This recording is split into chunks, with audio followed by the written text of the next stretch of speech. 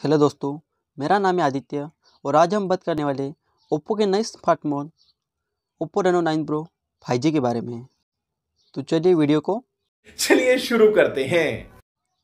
Oppo तरफ़ से आने वाला ये स्मार्टफ़ोन बहुत ही जल्द इंडियन मार्केट में आपको देखने को मिल सकता है। आपको इसमें क्वेट कैमरा सेटअप देखने को मिलने वाला है। मेन सेंसर होगा टू हंड्रेड मेगा का ओ कैमरा सेंसर देखने को मिल सकता है जो कि आपको एट के सिक्सटी एफ़ वीडियो रिकॉर्ड करके दे सकता है। बाकी आपको ultra wide micro depth sensor देखने को मिलने वाला है। थर्टी नंबर की सेल्फी देखने को मिलने वाली है। आपको इसी Oppo Reno nine pro five G में। सेंसर की बात करें तो आपको इसमें Snapdragon eight gen one processor देखने को मिलने वाला है, जो कि काफ़ी पावरफुल प्रोसेसर है, जो कि थ्री गीगार्ड्स पे क्लॉक स्पीड है। और आपको इसमें एंड्रॉयड थर्टीन देखने को मिल सकता है। कलर ओएस के साथ।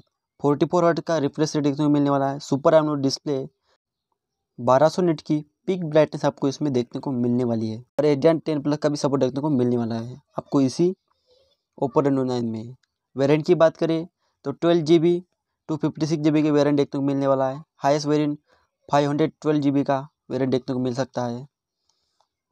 अगर बात करें इसी मोबाइल की, इंडिया में लॉन्च तो आपको इसमें, ये मोबाइल इंडिया में 2023 के जनवरी फरवरी महीने तक आ सकता है। समझ रहे हो? समझ रहे हो? आपको इसमें कर डिस्प्ले देखने को मिलने वाला है। अगर स्लिम के बारे बात करें तो six seven point six M M इसकी थिकनेस है जो कि सुपर स्लिम में आ जाता है। बैटरी की बात करें तो छः हज़ार मिली एम की बैटरी देखने को मिलती है। साथ में वन ट्वेंटी एट का फास्ट चार्जर देखने को मिल जाता है। फाइव जी के ड्यूअल स्लिम स्लॉट भी देखने को मिल जाता है। आपको इसी मोबाइल में। आप इसमें मेमोरी नहीं लगा सकते अलग से। स्टीरियो स्पीकर का सपोर्ट देखने को मिल जाता है। वाइड वाइड एलवन का सपोर्ट देखने को मिल जाता है। इन डिस्प्ले फिंगरप्रिंट सेंसर का भी सपोर्ट देखने को मिल जाता है। अगर बात करें इसके I P sixty eight rating की तो आप वो भी आपको इसमें देखने को मिल जाता है। इसी Oppo Reno nine pro five G में। बात तो सही है। दौड़ना तो पड़ता है।